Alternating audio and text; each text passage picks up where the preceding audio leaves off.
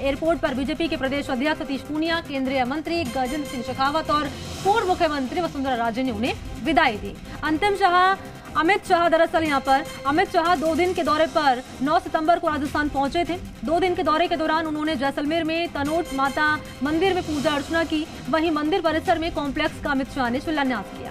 जोधपुर में अमित शाह ने ओबीसी मोर्चा के राष्ट्रीय कार्य समिति के समापन सत्र के अलावा बूथ लेवल कार्यकर्ताओं के सम्मेलन को संबोधित किया। अमित शाह ने आगे शहर के कुछ चुनिंदा लोगों से मुलाकात करके उनसे फीडबैक लिया और कल रात को, कल रात को उन्होंने वसुंधरा राजे से भी लंबी मंत्रणा की। अमित शाह ने सतीश पूनिया से भी अलग बातचीत की।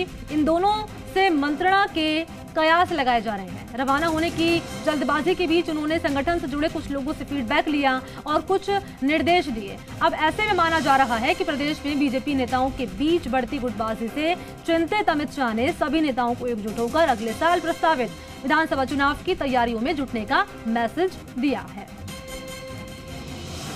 और इसी खबर पर ज़्यादा जानकारी लिए सहयोगी अरुण हर्ष मेरे साथ जुड़ चुके हैं फ़ोन लाइन पे। अरुण हर्ष, जोधपुर से दिल्ली रवाना हो चुके हैं गृह मंत्री अमित शाह, लेकिन इस बीच ये भी जानकारी सामने आ रही है कि उन्होंने अकेले में सतीश पूनिया से बातचीत की, वसुंधरा राजे से बातचीत की, और ऐसे में अब इसके सियासी मायने निकाले जा रहे हैं। पूरी जानकारी क्या है अरुण इस खबर पर अब? मणि, मैं बताना चाहूँगा, जिस तरह से कल मंच जो अमित शाह का बूथ सम्मेलन कार्यक्रम था, उसी में एक मंच से सभी को एक साथ लाने की बात अमित शाह ने मंच से की थी, चाहे बात करें गजेंद्र सिंह शेखावत की, सतीश पूनिया की या वसुंधरा राजे की।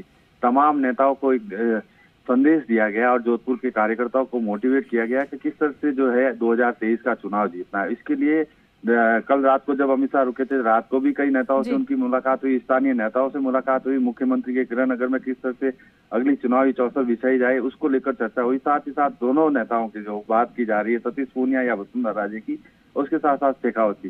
तमाम नेताओं को उनसे अलग से फीडबैक दिया फीडबैक लेने के साथ ही साथ एक संदेश दिया कि आपसी गुटबाजी छोड़कर जो पार्टी एक रूपता के लिए काम करे और आने वाले चुनाव को लेकर सबका टारगेट होना चाहिए। मोदी जी के नेतृत्व में चुनाव 2023 और 24 दोनों जीतना है। तो इसलिए आपसी मतभेद बुलाकर आप लोग सिर्फ़ पार्टी कार्यकर्ताओं के साथ जुड़कर जो है चुनावी तैयारी की जाए और मोदी के नेतृत्व में चुनाव लड़ना है तो मुख्यमंत्री तय करने का काम है जो पार्टी नेतृत्व करेगा। लेकिन फ़िलहाल आपसी गुटबाजी को समाप्त करने का एक प्रयास किया गया और कह सकते हैं कल अमित शाह का जिस तरह से अचानक कार्यक्रम बना था, परसों जब उनका दौरा बना था, उस समय जोधपुर रुकने का कार्यक्रम नहीं था, लेकिन जोधपुर आते आते उनका कार्यक्रम रुकने का मना और यहाँ से कई नेताओं से, स्थानीय नेताओं से और जो पुराने जनसंघ के नेता थे, उन लोगों से भी उनकी बातचीत हुई। तो कह सकते हैं, आने वाले चुनाव को लेकर बहुत अलग अलग तरीके से मीटिंग हुई है, और सबको एक संदेश देने का प्रयास किया गया है कि पार्टी के अंदर कोई गुटबाजी नहीं है, और सभी नेता मिलजुल कर जो है, मोदी के नेतृत्व में चुनाव लड़ेंगे, इसलिए सभी एकजुट हो जाए। मणि। बिल्कुल, अरुण हर्ष, आप बने रहिएगा। फ़िलहाल तस्वीरें हम दर्शकों को दिखा रहे हैं। दो टीवी स्क्रीन पर जब अमित शाह का स्वागत किया गया और वो तस्वीरें दूसरी जब सतीश पूनिया ने अमित शाह का स्वागत किया। और महत्वपूर्ण बात यह कि अमित शाह ने वसुंधरा राजे से मंत्रणा की, लंबी मंत्रणा की, सतीश पूनिया से मंत्रणा की और साफ़ तौर पर एकजुटता का संदेश देने की कोशिश की गई और ये साफ़ तौर पर मैसेज देने की कोशिश की गई है कि एकजुटता से ही चुनाव को जीता जा सकता है। चुनावी रोड मैप बिछाने का पार्टी की ओर से काम किया जा रहा है। अमित शाह मरुधरा पहुँचे थे, न केवल कार्यकर्ताओं से, उन्होंने मुलाकात मुलाकात की और महत्वपूर्ण बात ये जो कि अब लगातार बता रहे हैं कि एकजुटता का संदेश देने की कोशिश की गई है। कुल मिलाकर यह कि चुनावी बिसात बिछाने की कोशिश अमित शाह की ओर से अब की जा चुकी है। अरुण? बिल्कुल बिल्कुल मणि इसमें कोई तो दो राय नहीं उन्होंने कल जिस से अपने मन से संबोधन में कार्यकर्ताओं से ये कहा था कि अभी से तैयारी में लग जाए। 2023 के चुनाव को लेकर और 2024 के जो चुनाव होने 25 की 25 सीटें जो है, दोबारा राजस्थान से जो है, मोदी के नेतृत्व में आनी चाहिए। इसके लिए कार्यकर्ताओं को मोटिवेट किया। हालाँकि जिस समय मंच पर सतीश पुनिया का भाषण चल रहा था, उस समय सतीश पुनिया के समर्थक नारे लगा रहे थे और जब वसुंधरा राजे का भाषण चल रहा था तो वसुंधरा समर्थक नारे लगा रहे थे।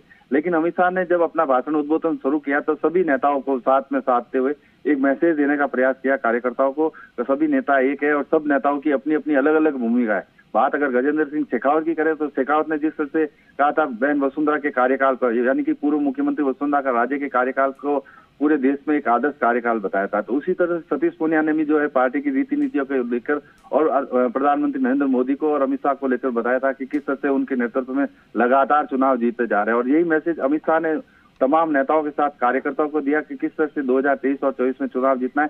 दो स्टेटों में चुनाव होना है और दोनों जगह से कांग्रेस साफ़ करनी है। तो कह सकते हैं कांग्रेस मुक्त भारत करने का जो बीजेपी का संकल्प है उसी के मद्देनजर चुनाव की घोषणा की गई और साथ ही साथ ये कार्यकर्ताओं को हिदायत और संकल्प दिलाया गया कि किस तरह से अब 2023 की तैयारी करनी है। आप लोग तमाम लोग यहाँ से जाने के बाद जो प्रधानमंत्री नरेंद्र मोदी की योजनाएँ हैं जो सरकार कर रही है उन सबको जनता के बीच में ले जाना है। मुख्यमंत्री को घेरने का प्रयास किया गया। चाहे प्रदेश में जो सांप्रदायिक दंगे हुए उन मुद्दों को भी उठाया गया और कह सकते हैं कि इस मंच से जोधपुर के रावण चबूतरा मैदान से जिस मंच से अमित शाह ने भाषण दिया उसमें सभी कार्यकर्ताओं को 2023 के चुनाव और 24 के चुनाव को लेकर तैयार रहने को कहा है और काम करने को कहा है। शुक्रिया आपका अरुण हर्ष। महत्वपूर्ण जानकारी आपने साझा की इस खबर पर। धन्यवाद आपको। तो कुल मिलाकर ये की पार्टी में सब ऑल इज़ वेल है एकजुटता का संदेश यहाँ पर देने की कोशिश गई अमित शाह की ओर से और कार्यकर्ताओं को एकजुट होकर काम करने की यहाँ पर संदेश दिया गया है अमित शाह की ओर से। फ़िलहाल वो जोधपुर से दिल्ली के लिए रवाना हो चुके हैं।